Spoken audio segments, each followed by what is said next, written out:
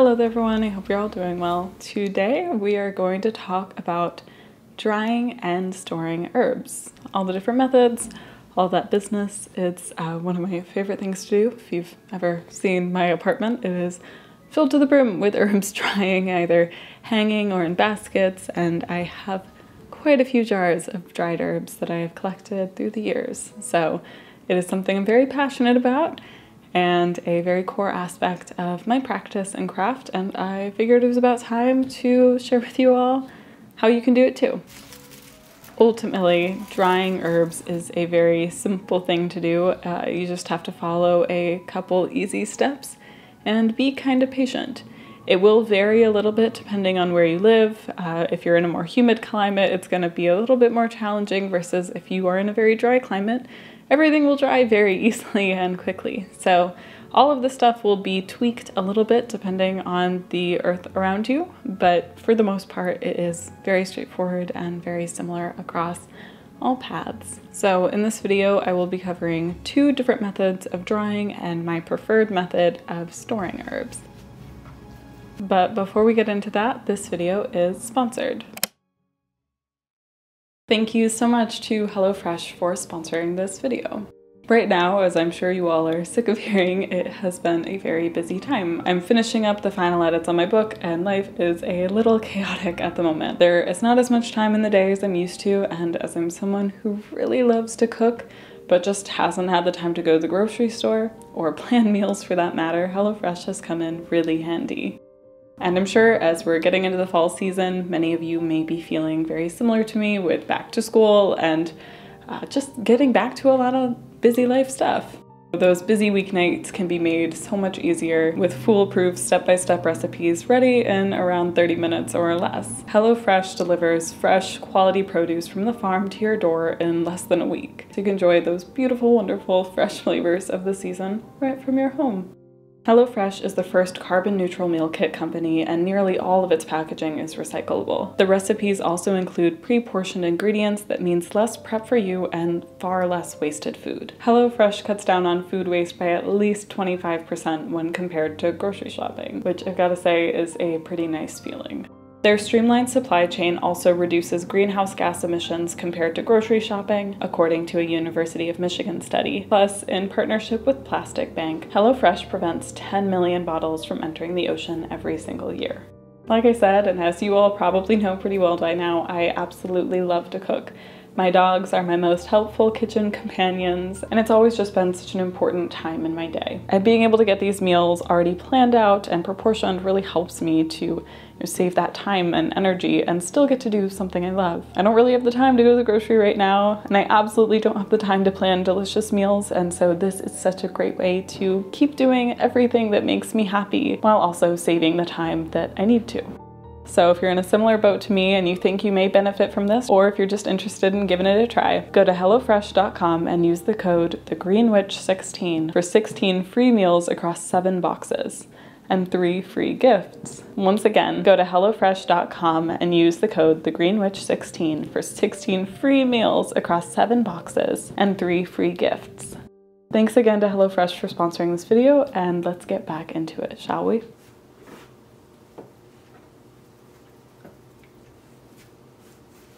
Alrighty, let's start with drying herbs. Like I said, there are two different methods, the basket drying method and the hanging method. Each is chosen depending on the kind of herb you are drying, uh, how it physically exists and what pieces you are drying. However, while there are two distinct methods of drying, they both do begin the same way. So let's start there. Begin by removing any damaged, diseased, or insect-y parts of the plant. This can be something like a bruised leaf or one that clearly has some yuck on it. Honestly, just pick off those leaves and flowers that aren't looking so good. You really want when you're drying herbs, especially if it's for medicine, for the herbs to be in uh, tip-top shape. And even still, if you're just drying them for ornamental use, having them be uh, pretty is preferred.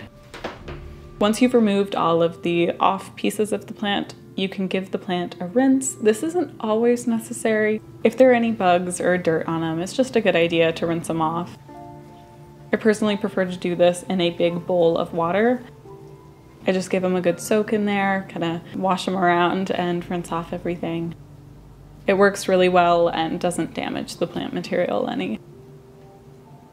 Now, if you're trying to dry some roots, I would recommend really scrubbing those because they can take it. Take a toothbrush or something similar and just get all of the dirt that you can off of them because it'll be really packed onto them. But again, if your herbs are pretty clean and don't have any bugs on them, you can skip this step. At this point with the herbs, once they have been cleaned and I would dab them dry a little bit. This is when we separate into one of the two different drying methods, either the baskets or the hanging method. So let's begin first talking about the basket method. The basket method is typically used to dry roots, flower heads, and leaves, any kind of littler plant material. This is a very easy method of drying and uh, it's also a very fun one. It's a little more interactive than hanging bundles tend to be and uh, it's very beautiful to watch. So for baskets, you will typically need a basket and your herbs. Make sure you pick a basket that has a fairly loose weave. You want to be able to have air move through. If you are working with pretty fine herbs, it's a good idea to maybe place a cloth down on the basket as well so that the herbs don't get lost inside the weave. I definitely have lost quite a few little herbs to basket weaves but it can easily be avoided with a little cloth. In a pinch, you can also dry herbs on top of a cloth, but you have to be really careful with these guys because they don't get the same degree of aeration. You can also alternatively use a screen, and that is a great method. I've worked with that before. I just tend not to have as many screens on hand as I do baskets, so it's really up to you what you have access to. Screens are great for very fine herbs, but a basket with a cloth works great. To dry herbs in this way, loosely lay the herbs into the basket. Make sure they aren't really touching each other and that it's only in a single layer. Make sure to give them kind of a nice little shuffle, scoot them around every day or every time you remember. This way they move about, every part of the plant gets to be hit with air and they dry out much better when you make sure to go through and give them a shuffle. Once the herbs crunch and crumble, then they're perfectly dry. You want to hear that crunch. It can be kind of hard to tell with roots, uh, but ultimately I just kind of let roots dry until they are rock hard and I am very sure that they are dry. Most herby herbs tend to dry within two to four weeks. It will vary depending where you live and this is where most of the change comes in. Regardless of where you live, it's important that your herbs are kept in a cool, dark, and dry place. Often a closet actually works really well or a cabinet. This can be challenging depending on where you live, but if you can attempt to keep it with as little moisture as possible, that is the most helpful. Just pay careful attention to herbs while they're drying and make sure they're drying evenly, aren't molding or anything like that. Every now and again, I do have herbs mold. I've lived in very humid places in my life, and sometimes it just happens and it's unavoidable. And when that happens, that's okay. Try to get rid of the ones that have molded, and if you have any that are still doing well, put them in a new basket, and sometimes they pan out. Sometimes you lose a few, and that's okay. So, like I said, about two to four weeks with this. Does depend where you live, but overall, the basket method is very easy and a very beautiful way of drying herbs. The next method, the bundle method or the hanging method, is also a very simple and beautiful way of drying herbs, and perhaps one I employ the most. I have quite a few bundles in uh, my apartment and just in my life always. Bundles are used to dry herbs with really long stems, stems that you can tie together. Bundles are perhaps a little bit easier than drying herbs with a basket as they require far less attention to dry. To craft a bundle, you need something to hang the herbs on, something to tie the herbs together, and the herbs. Typically, I tie my herbs together with twine. I know a lot of people use rubber bands and possibly have more success with those. Occasionally, when you're tying them with twine, the uh, herbs will fall through when they dry and kind of shrink. but rubber bands prevent that. I just tend not to really have rubber bands on hand and I always have twine. So it's up to you. Where you hang them is also up to you. I often hang them off of a single nail in the wall or on a piece of twine strung between two nails or any variation of the sort. As long as you have them hanging, you're good. To craft a bundle, gather your herbs in a bundle, tie them off with twine, and hang them up.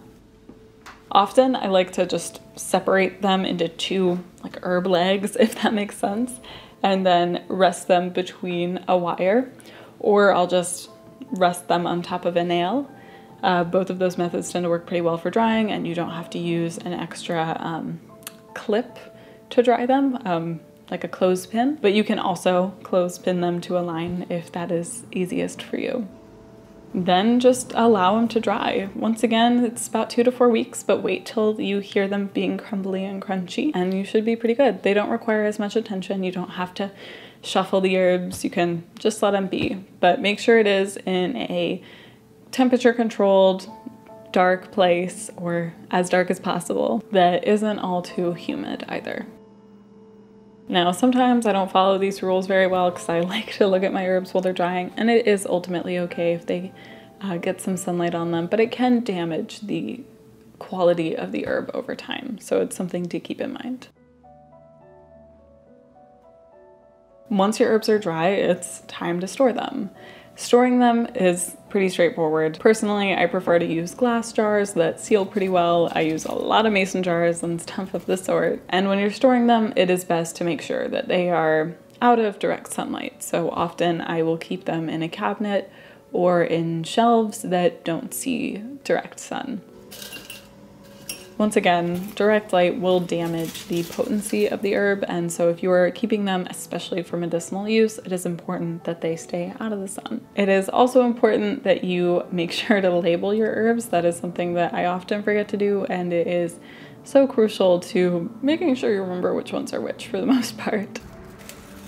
For medicinal use, dried leaves and flowers typically last one to two years, whereas roots can last two to three. However, sometimes they'll last longer. You kind of just have to use common sense and your intuition with this. If the herbs still smell good and look good with color and still maintain some of their flavor, or a lot of their flavor really, then they're still good. If they're kind of dull in flavor, are looking dull in color and just don't really have much of a smell, they've lost a lot of their medicinal potency and I wouldn't use them for those purposes anymore. Additionally, if they're moldy, they've gone bad. Now, herbs that have been completely dried will not mold, but every once in a while you do pack some away that you may think are fully dried and they aren't.